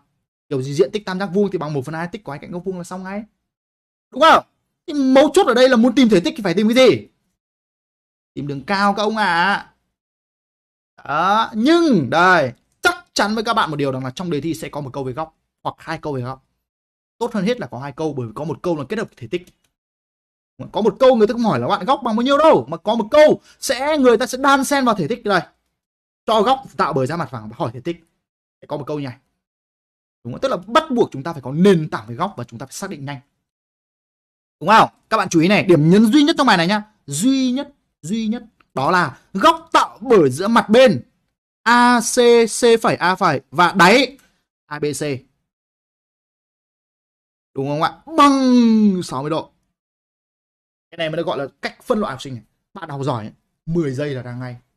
Bạn học mà yếu ấy, 10 phút chưa chắc ra được. Đúng không? nó khác nhau đây các bạn nhá. Hãy khẳng định nữa bạn học giỏi nó chỉ cần tầm 10 giây thôi là ra ngay vậy chúng ta xác định góc tạo bởi giữa hai mặt phẳng này như thế nào? Bạn nghe thầy dạy các bạn nha. phương pháp được gọi là phương pháp tung ba trưởng. Thầy dạy các bạn rồi. Đúng không ạ? Tại sao là tung ba trưởng? Bởi vì bản chất là trong quá trình làm trắc nghiệm thì chúng ta cần phải làm những cái phương pháp nó nhanh, chuẩn. Và như sau. Trong hai mặt phẳng này, thường. Là chúng ta chọn một điểm nằm trong hai mặt phẳng này. Thường là chúng ta lấy gì các bạn? Điểm a ấy. đúng không? Như bạn hỏi là a phẩy b phẩy c phẩy thầy ơi, thực ra thì giống nhau. A, b, c, a phẩy b phẩy giống nhau hết. Yeah. giống nhau đấy. Thầy nhắc lại. Nghe. Như bạn hỏi thầy ơi, thì sai đây rồi thầy. Không. Đây, nghe này nghe này. Cãi nhau thì bây giờ thì thầy phải giải thích, đúng không? Mặt bên a, c c phẩy, a phẩy. Với đáy đáy nào? A phẩy, b phẩy, c phẩy. Một góc bằng 60 độ. Và các bạn cũng để ý rằng là mặt phẳng A phẩy, B phẩy, C phẩy thì đương nhiên sẽ song song với ABC. Tức là góc tạo bởi giữa thằng này và thằng này thì giống thằng này. Giống nhau đấy, đừng cãi nhau nhá. À, nhưng mà sai đều nhá. Đúng không ạ?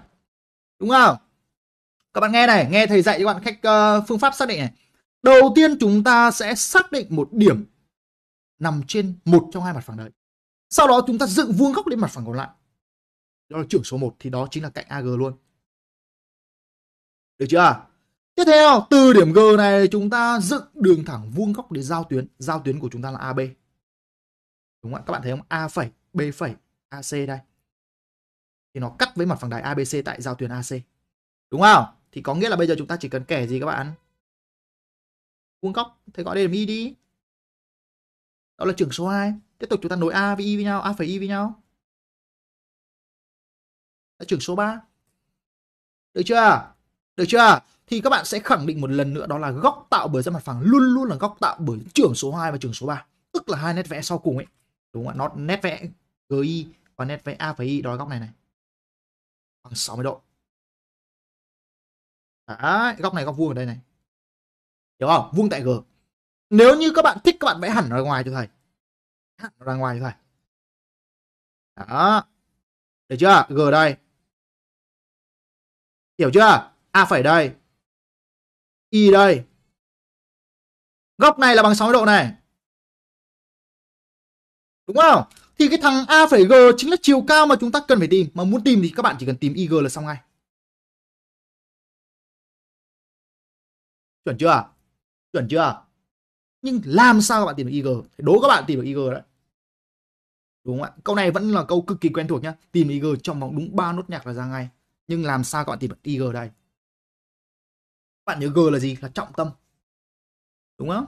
Đúng không? G là trọng tâm thì các bạn nhớ là nếu như mà thầy nối b với g với nhau thì nó phải cắt cắt tại trung điểm đây. Thầy gọi điểm m là trung điểm của ac thì hiển nhiên do tính chất trọng tâm thì các bạn có ngay đó là cái thằng bg tất cả chia cho b bm thì sẽ bằng 2 phần 3 đồng ý không ạ? Tính chất trọng tâm mà. Tương tự như vậy thầy có cạnh uh, gm trên cho bm thì là bằng 1 phần 3 theo tính chất trọng tâm. Đúng không? Nhưng làm sao các bạn tìm ig đấy thì các bạn nghe này. Đầu tiên chúng ta tìm khoảng cách từ điểm b đến cạnh ac đó. Gọi là cái gì các bạn gọi h đi. Và bh này các bạn dùng hệ tứ lượng các bạn tìm đúng mà. Nếu như bạn nào thông minh chúng ta có bh như sau. Các bạn có bh này nhân với ac thì sẽ bằng cạnh ab nhân bc thì sau đó thì các bạn sẽ tìm được cạnh BH. BH là khoảng cách từ điểm B nhé đến cạnh AC thì nó chính là bằng gì các bạn? AB nhân BC đúng không? 3 nhân 4A. Tất cả trên 5A. Tức là các bạn có 12 phần 5. 5A. Đúng không? Thì làm sao? Các bạn nghe này. Ta có cạnh GI trên cho cạnh BH Đúng không? GI trên BH luôn luôn bằng GM trên BM. Với M là trung điểm của cạnh AC. Đúng không? Thì mình sẽ suy ra luôn và ngay đó là GI tất cả trên BH thì hiện tại bằng 1 phần 3.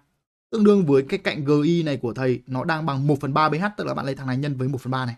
Nó chính là bằng 12A đúng không ạ? Trên 5 nhân 1 phần 3 là bằng 12A trên 15. Đấy, hiểu không? Cạnh này có rồi. 12A trên 15 thì các bạn suy ra cái thường cao A phải G này có đúng là cạnh IG không ạ? Nhân với tan 60 độ. Nhân tan 60 độ là nhân với căn 3. Đó, thì sau đó thì các bạn sẽ suy đường cao của chúng ta là các bạn lấy này. 12 A trên 15. Đúng không ạ? Nhân với căn 3. Đây là chiều cao của chúng ta. Cần tìm. Hiểu không? Hiểu chưa? Và đề bài hỏi gì? Hỏi thể tích, thể tích lăng trụ thì các bạn sẽ suy ra thể tích lăng trụ nha. Nó sẽ lấy diện tích đáy nhân chiều cao là diện tích của tam giác ABC nhân chiều cao nó chính là nhân A phải G. Đúng không? Diện tích tam giác ABC nó là bằng 1 phần 2 tích của hai cạnh góc vuông là AB nhân BC thầy có là bằng 3 nhân 4A. Đúng không ạ? Đó, nhớ không không có 1 phần 3 đâu nhá. Diện tích đáy nhân chiều cao. Nhân với chiều cao chúng ta tìm được là 12A trên 5 trên 15 trên căn 3. Đấy, được chưa? Thì bây giờ bạn nhầm thoải mái thôi. Chúng ta có này. 4 với 2 là các bạn còn 2 nhá. Đó, 3 với cả 15 là chúng ta còn lại là 5. Tức là mình còn bao nhiêu các bạn nhỉ? Đáp án nào đây? Các bạn có nhầm được không? Này 2 này, 3 hết rồi. Thì nó sẽ còn là 24 amu 3 căn 3 tất cả trên mấy các bạn? Trên 5 đúng không?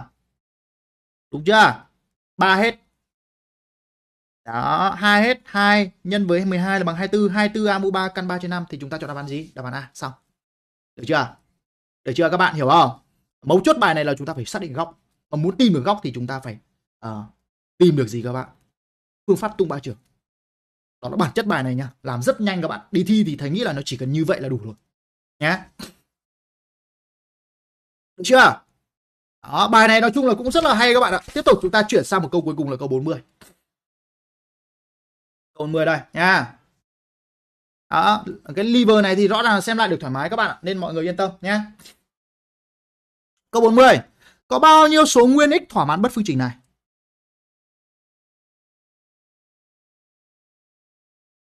Có bao nhiêu số nguyên x thỏa mãn bất phương trình này? Đúng không? Câu này là câu hay đấy các bạn nhé câu chấm lấy điểm 8 rồi đấy các bạn ạ. Nhưng mà sai câu này thầy cũng khẳng định là sai ngu hết có nhiều bạn hôm trước hỏi thầy ơi uh, em sai ngu có phải là vì em ngu không? Bạn hỏi một câu mà thầy cũng ám ảnh các bạn ạ. Ám ảnh thật sự luôn. Thực ra thì các bạn nhớ là người thông minh vẫn sai ngu bình thường đúng không? Nhiều bạn học giỏi vẫn sai ngu bình thường mà. Thế nên là cái việc mà chúng ta sai ngu ở đây không phải là vì mình ngu mà có thể là chúng ta bị sẩy chân. Người ta gọi là sai một ly nó đi một dặm mà. Ở nhà thì mình có thể làm rất ngon nhưng đi thi thì có thể là mình bị tâm lý này chẳng hạn đúng không? Hoặc là có thể là một số yếu tố tác động hoặc có thể là ngồi bên cạnh nhìn thấy một cái bạn nữ xinh xinh quá, mình mất tập trung chẳng hạn. Đúng không? có nhiều bạn nữ đi học đi thi về bảo là có anh bên cạnh đẹp trai lắm, em ngồi em nhìn quá, mất tập trung. Dẫn đến cái việc sai ngu thầy ạ. Đó cũng là một nguyên nhân, đúng không? Khách quan mà. Nhờ. Chuẩn chưa? Nói chung là có rất là nhiều yếu tố nhá. Thế câu 40 này chúng ta phải làm như nào? Bạn Đỗ Vượng bảo cũng có thể là ngu thật thầy ạ. Ok ok ok ok. Cũng có thể là ngu thật thầy ạ hay hay hay hay hay. Nào các bạn cơ nhớ câu 40 này thầy làm cho các bạn này. Có bao nhiêu số nguyên ích thỏa mãn bất phương trình này đúng không? Bất phương trình này nhìn thấy thôi nhưng mà nó rất là lằng nhằng khi mà chúng ta giải các bất phương trình này thì đầu đầu tiên chúng ta luôn luôn phải nhớ đó điều kiện xác định.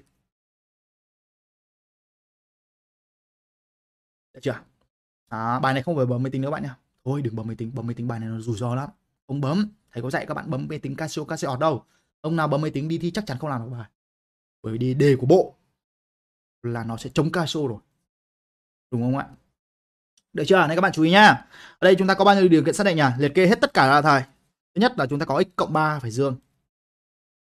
x cộng 3 dương để loga có nghĩa. Cái thứ hai có bạn có x cộng 3 này nó phải nằm ở phần cơ số nữa, nên x cộng 3 phải khác một. Tiếp theo là chúng ta có x bình trừ x này, đúng không ạ? X bình trừ x nó phải dương tiếp. Đúng không? Và điều kiện thứ tư đó là chúng ta có biểu thức trong căn nó phải không âm loga cơ số x cộng 3 của x bình trừ x, nó sẽ phải bé bằng 1. đó. Được chưa? Thì chúng ta giải bình thường nó thôi. Chúng ta có điều kiện đầu tiên x nó lớn hơn 3 này. x lớn hơn trừ 3 và x nó khác trừ 2. x lớn hơn trừ 3 và khác trừ 2. Đúng không ạ? x bình trừ x lớn không thì các bạn có x lớn 1 hoặc x bé không. Được chưa? Được chưa? Thằng này khác bén một thì chúng ta có gì nhỉ? Thực ra thì các bạn nhớ là x cái này nhá. Cái này các bạn không nên giải. Chúng ta có loga cơ số x cộng 3 của x bình trừ x đúng không ạ? Bé bằng một thì chúng ta để nguyên như thế. Để nguyên như thế. Được chưa? Được chưa các bạn? À lớn bằng không đúng không? Lớn bằng không thì là lớn lớn bằng không đúng không ạ? Lớn bằng uh, lớn bằng không các bạn? Lớn bằng không thì lớn bằng một chuyển về đổi dấu. Xin lỗi các bạn đó, bởi vì biểu thức trong căn nó phải là không âm thì lớn bằng không mà. Đúng rồi đúng rồi đúng rồi. Lớn bằng không. Nhưng mà các bạn nghe này. Cái điều kiện dưới thì các bạn không nên giải bởi vì sao? Muốn giải bất phương trình này chúng ta phải xét hai trường hợp. Một là x cộng 3 của chúng ta lớn một. Hai là x cộng 3 nó phải nằm trong khoảng từ 0 đến 1 tức là chúng ta chưa thể giải. Nếu như bạn nào giải thế này sai nhá. Nếu như bạn giải thế này là sai hoặc là chúng ta tương đương x bình trừ x lớn hơn bằng x cộng 3 là sai. Giải thế này là sai. Ta không phải sai mà nó thiếu trường hợp đúng không? Bởi vì lý do là chúng ta chưa biết x cộng 3 là, là lớn một hay là nằm trong khoảng từ 0 1 mà. Chúng ta chưa quyết định cái cơ số của nó. Vì vậy chúng ta không được giải bất phương trình này. Được chưa? Chúng ta chỉ có điều kiện như này các bạn để nguyên như này cho thầy nhá. Không không lại. Tất cả điều kiện như này các bạn để ý lại. Được chưa? Rồi bước một xong. Bước thứ hai là gì? Khi giải các bất phương trình này thì có một cách đó là các bạn nên giải nghiệm rồi sau đó chúng ta sẽ vẽ trục số ra xét dấu là nhanh nhất. Tìm nghiệm và xét dấu tìm nghiệm và xe dấu đó. Đúng không ạ? Nhiều bạn bảo là, thầy ơi, chỗ này là chúng ta có a này a này có b này. A nhân b lớn bé bằng không thì đã có b bé ờ, lớn bằng không rồi thì các bạn chỉ đặt mỗi điều kiện là a nó lớn bằng không là được. Đúng không? Hoặc là bé bằng không là được. Thì cũng được, nhưng mà các bạn nhớ rằng phương pháp đấy nó chỉ làm thiểu số thôi. Thế bây giờ thầy, giả sử thầy bỏ căn này đi thì các bạn làm như nào? Đúng không? Thầy sẽ dạy cho bạn một cách làm chung cho tất cả mọi bài này nhá. Cách làm chung cho tất cả mọi bài này. Kiểu này kiểu này làm được luôn đó là chúng ta luôn luôn tìm nghiệm và xét dấu là nhanh nhất và chuẩn nhất đúng không Đúng không? Các bạn xem thằng này A nhá, thằng này B nhá. Chúng ta giải phương trình A bằng không và B bằng 0 thầy. Đúng không? Để xem là nó có bao nhiêu nghiệm rồi sau đó các bạn vẽ trục số ra chúng ta sẽ dấu là xong. là cách chắc chắn đúng nha. Các bạn nhớ cái thì cái cách này chắc chắn đúng. Ta có A bằng không thằng này bằng không đúng không? Chúng ta có 4 này. Lốc của x cộng 3 này. Trừ đi 5 này nhân 2 mũ lốc của x cộng 3 này. Đó, cộng 4 bằng 0. Đúng chưa? Và cái thằng này bằng 0 tức là các bạn có loga cơ số x cộng 3 của x bình trừ x trừ 1 bằng 0 thì chúng ta có bằng 1 luôn. Các bạn giải từng phương trình ra. Phương trình trên thì một là các bạn lấy máy tính bấm luôn. Hai là tìm nghiệm và đặt ở phụ. Đúng không ạ? Đây phương trình trên giải rất đơn giản nha, chúng ta đặt thằng này t này. Sẽ có t bình trừ 5t cộng 4 bằng 0 mà. Có phải là có một nghiệm bằng 1, một nghiệm bằng c là bằng 4 không? Đúng không? Đấy, thầy đọc như vậy thôi, nhiều bạn không loát ở đâu. đọc cho vui mồm thôi, thầy biết là nhiều bạn không nghĩ không không không không, không tưởng tượng được. Mình sẽ hiểu này, đặt hai mũ log x cộng 3 bằng t thì thằng này là t bình. Đúng không? Thì suy ra phương trình này là t bình trừ 5t cộng 4 bằng 0 thì kiểu gì sẽ có một nghiệm là t bằng 1, một nghiệm bằng 4. t bằng 1 này thì tương đương với log đúng hai mũ log của x cộng 3 bằng 1 hai mũ log của x cộng 3 bằng 1 thì tương đương với log của x cộng 3 bằng mấy các bạn? Bằng 0. Hiểu không? hai mũ 0 bằng 1 mà. Thì tương đương tương đương với gì các bạn? Log của x cộng 3 bằng 0. Đúng không ạ? Thì x của chúng ta bằng trừ 2 trừ 2 nhá. Đấy, các bạn viết lại cho thầy nhá. x bằng trừ 2, đúng không? Hiểu không? Tương tự như vậy, t bằng 1 thì mình cũng tương đương với 2 mũ log của x cộng 3 bằng 4, bằng 4 phải bằng 1 nhé, bằng 4. Thì các bạn có log của x cộng 3 bằng 2. Đúng không ạ? Log x cộng 3 mà bằng 2 thì x cộng 3 của chúng ta bằng mấy các bạn? 10 mũ 2 là bằng 100, 100 trừ 3 là bằng 97, tức là mình sẽ có tổng cộng mấy nghiệm? Hai nghiệm, một nghiệm bằng 97, một nghiệm bằng trừ 2. Được chưa? Được chưa? Các bạn giải nhá, chúng ta có một nghiệm này, x bằng 97. Một nghiệm x bằng mấy? Trừ 2. Đó, được chưa? Được chưa các bạn? Nhưng mà nếu như bạn nào thông minh các bạn hiểu là 97 là thỏa mãn nhá. Còn trừ 2 là loại đi vì sao nó vi phạm điều kiện này này. Hiểu không? Hiểu không? Một chú A đã giải xong. Còn thằng B giải thì rất đơn giản thôi. Thằng này các bạn chỉ cần giải được thôi nhá. Chúng ta có này. Lốc của x cộng 3 của x bình trừ x và bằng 1 có nghĩa là x bình trừ x sẽ bằng x cộng 3.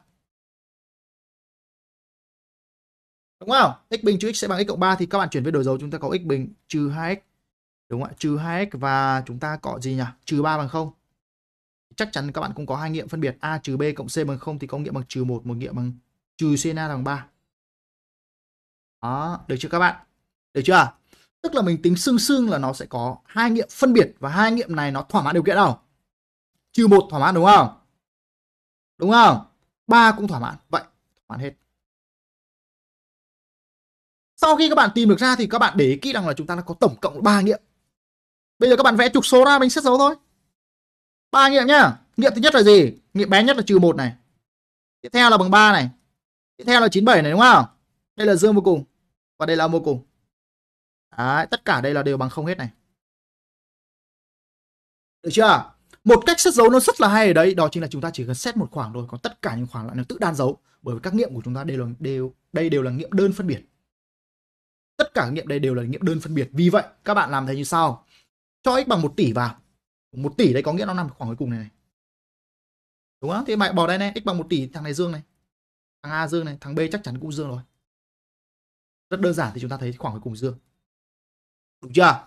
Khoảng này dương thì tất cả ngại lại nó, nó đan dấu. Cộng đây trừ đây, cộng đây và trừ đây. Đó. Hiểu chưa? Hiểu chưa? Nhưng sau khi giải xong, sau khi xét dấu xong thì các bạn phải cố gắng áp cái điều kiện vào. Điều kiện xác định ở đây là x nó phải nằm trong khoảng từ trừ ba lớn trừ ba nữa. Thì trừ ba nằm đây này. Đó. Đúng không ạ? Đề bài yêu cầu bé bằng không thôi. Bé bằng không thì chúng ta gì nhỉ? Bé bằng không thì các bạn lấy dấu âm tức là nó sẽ có hai cái khoảng kết luận một là x của chúng ta nó lớn hơn trừ ba, đúng không ạ và bén bén gì bạn bén bằng trừ một đúng không khoảng thứ hai nó từ 3 đến 97 đấy đúng không? Đó, hiểu không? X thuộc từ 3 đến 97 được chưa? Hiểu không các bạn? Các bạn lấy đi. Nhớ thằng này là bao nhiêu rồi? 97 trừ cho 3 trừ cho 2 đúng không ạ? 97 mà nghiệm trừ cho hai nghiệm là các bạn có 95 nghiệm rồi nhá. 95 nghiệm rồi. Được chưa? Phương trình dưới có 95 nghiệm đều thỏa mãn hết nhưng phương trình trên thì các bạn nhớ là trừ 3 trừ 1 trừ 3 đến trừ 1 các bạn có bao nhiêu nghiệm? Bao nhiêu nghiệm? Trừ 3 đến trừ 1 có bao nhiêu nghiệm đây? Bao nhiêu? Duy nhất một nghiệm bằng trừ 1. Đấy. Hiểu không? Hiểu không? Chỉ có một nghiệm bằng trừ 1 thôi. Tại sao lại như vậy? Các bạn nghe nhá. Nếu có nghiệm bằng trừ 2 nữa, nhưng mà trừ 2 này các bạn nhớ điều kiện xác định này. Hiểu không? Các trừ 2 mà. Em quên mất cơ số khác một, thầy đã đặt tất cả điều kiện này x với khác trừ 2 mà. Thì rõ ràng là x nó nằm trong nửa khoảng từ trừ 3 đến trừ 1 đúng không? Thì có hai nghiệm x bằng trừ 2 và x bằng trừ 1. Nhưng trừ 2 có thuộc thỏa mãn điều kiện đâu? Không. Đúng không ạ? Vì vậy nó chỉ có mỗi nghiệm trừ 1 thôi. Vậy các bạn có 95 nghiệm cộng 1 nghiệm nó bằng 96 nghiệm đáp án A, đúng không? Đáp án A. Đó là câu 40 là như vậy. Đó, hiểu vấn đề chưa? Hiểu vấn đề chưa các bạn? Hiểu câu 40 chưa? Câu này rất là hay nhá. Vì vậy chúng ta chốt lại rằng là để giải được câu này chúng ta có ba cái bước rất quan trọng. Đúng không ạ? Và về nhà chúng ta phải làm lại. Bước thứ nhất là gì? Là phải tìm điều kiện xác định. Tìm tất cả điều kiện xác định của bài toán này ra. Nhá. Thứ hai là tìm nghiệm và sau đó chúng ta vẽ trục số ra các bạn sẽ giấu. Nhiều bạn hỏi thầy tại sao thầy xét dấu nhanh như vậy? Thì các bạn nhớ này, cái đặc điểm đầu tiên mà thầy muốn nhận xét đó là ba nghiệm này đều là ba nghiệm đơn phân biệt. Tức là luôn luôn có sự đan dấu. Mình chỉ xét một thằng thôi thì thằng còn lại nó tự ra nó đan dấu hết. Được chưa? Và thường là các bạn xét thằng cuối cùng trước. Các bạn bỏ x bằng 1.000 tỷ vào đây, thằng A chắc chắn dương. Bởi vì đây t bình cơ mà.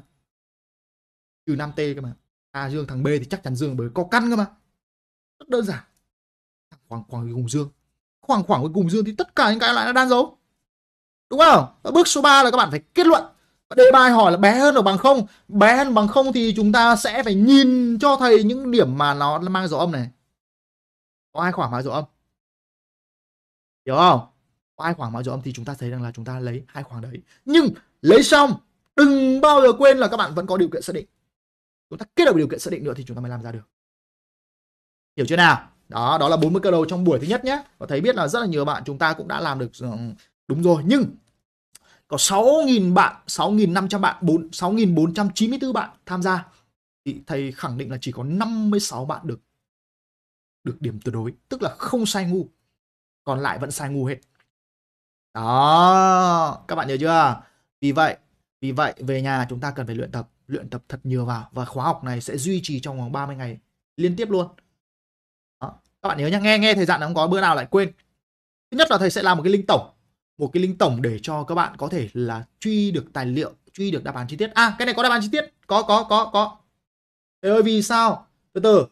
Vì sao điều kiện x cộng 3 phải khác một? Bởi vì nó là phần cơ số em nhé. Đây, có bạn hỏi thầy nói luôn. Tại sao là phải khác một? Bởi vì nó nằm ở phần cơ số này. Đúng ở đây, x cộng 3 phải nằm ở cơ số, thì x cộng 3 nó phải là lớn không và khác một. Hiểu không? Cơ số mà, cơ số thì luôn luôn phải nằm khoảng từ không và khác một nhé thì các bạn nhớ rằng là à đúng 11 giờ 30 buổi trưa hàng ngày là thầy sẽ up link đề và sau đó đến 8 giờ tối là thầy sẽ livestream chữa chi tiết. Các bạn nhớ chưa? Các bạn nhớ chưa? Đó, và nếu như bạn nào mà quên làm mất 3 buổi thì thầy sẽ lọc và kích vào nhóm vĩnh viễn. Nhớ chưa nào? Đấy các bạn lưu ý thầy điều đấy nhá. À, những cái bài mà thầy làm thì đều lưu lại và thầy sẽ tặng đáp án chi tiết cho các bạn. Đấy, chị tặng Đặng Hiền là trợ lý của thầy thì chị sẽ tặng đáp án chi tiết cho các bạn vào trong nhóm này luôn nhá. Ờ, mọi người chú ý rằng là trong đề này thầy đã tổ hợp được rất rất nhiều cái câu mà khiến các bạn sai ngu. Cực kỳ nhiều câu luôn. Đúng không?